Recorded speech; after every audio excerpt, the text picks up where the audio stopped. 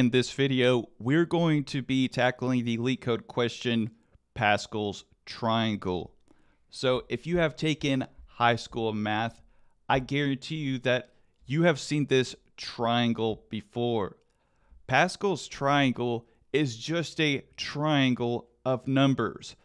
But you have to admit something about this triangle, the order, or just the way it looks, is oddly satisfying.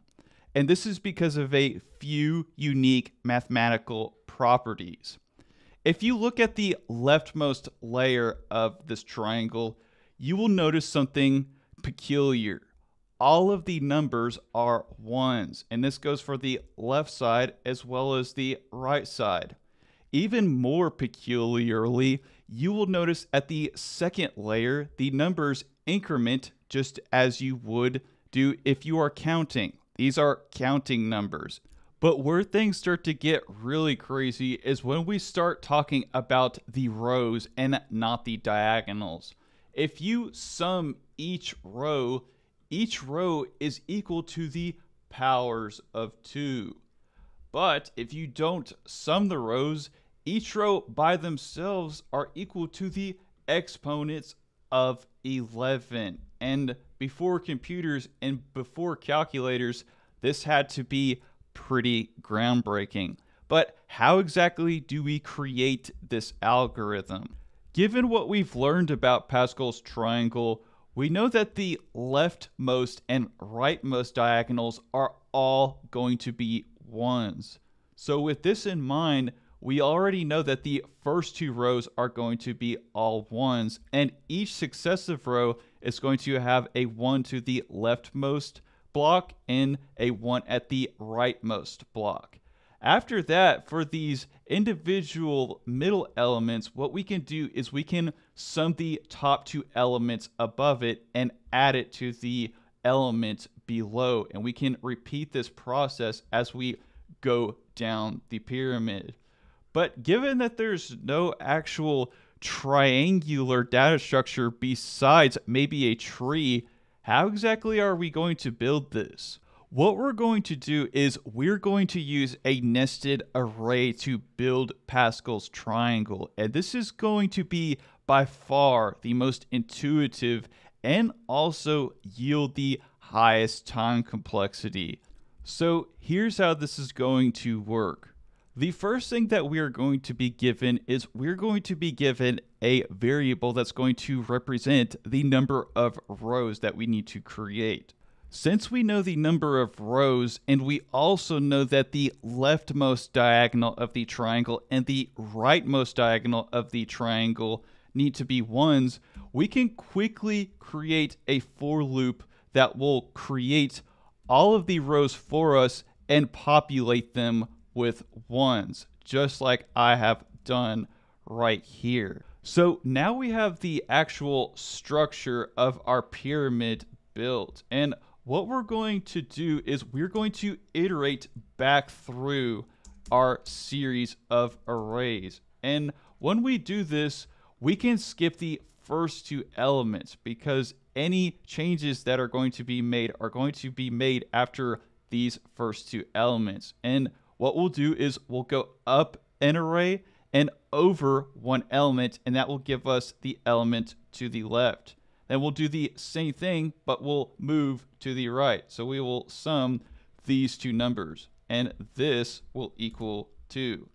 Then we'll continue to iterate down, and we'll do this exact same thing. We'll go up one array element, we'll get the element to the left, we'll get the element to the right.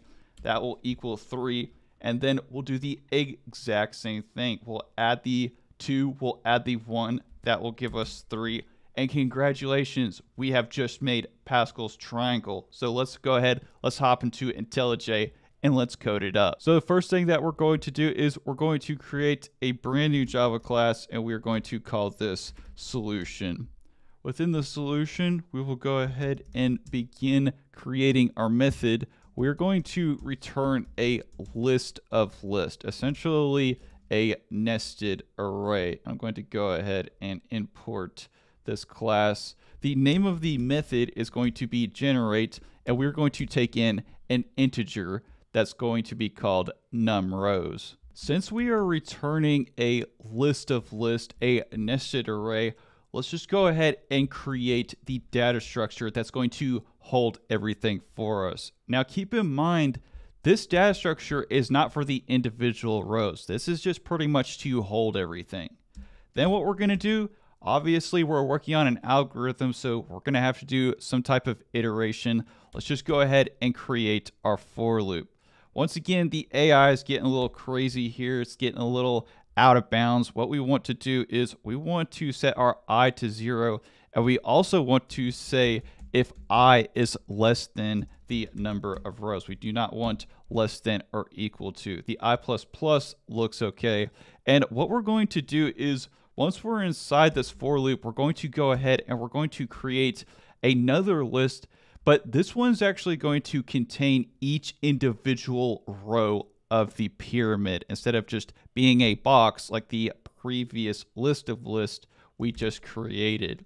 So once we're inside of this for loop and created our row data structure, now what we need to do is we need to create the for loop that's going to create all of the ones like we did on the whiteboard. And the way that we're going to do that is let's just go ahead, use the AI again, but we're going to have to change a couple more things. We're going to say if j is less than or equal to i.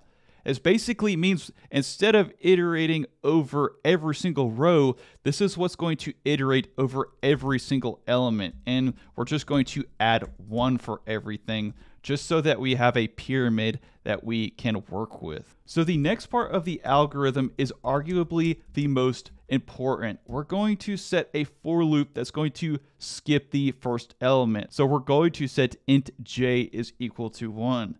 Then we're going to set the logic so that j is less than i. And the reason that we're going to do that is so that we also skip the last element because both of those should always be 1. Now what we need to do is once we get to the third row, we need to start grabbing elements above and to the left, above to the right, adding them so that we can get the number below, just like we did with the 2.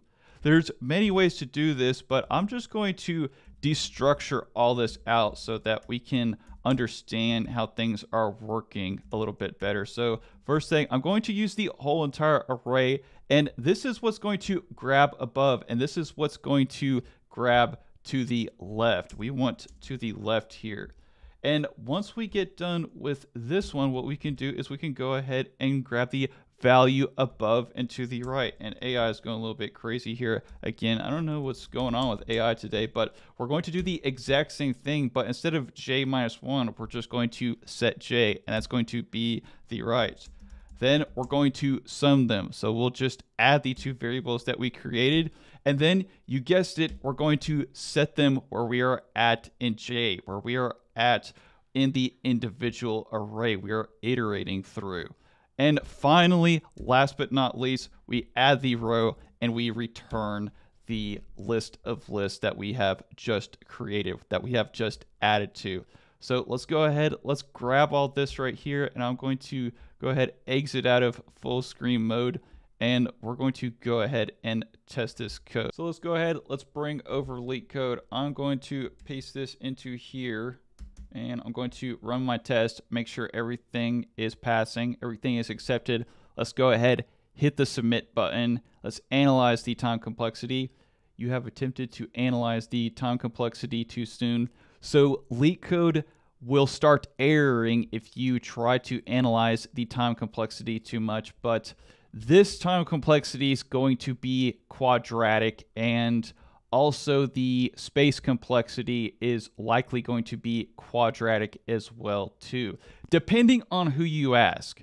LeetCode will say that it doesn't depend on input or output, but in my opinion, it's still uh, quadratic space complexity, although some people may argue it's actually constant. So it's whatever you want to believe. I think it's quadratic. Anyways, hope that you guys enjoyed this. If you did, smash that like button, smash that subscribe button, and as always, thank you for watching.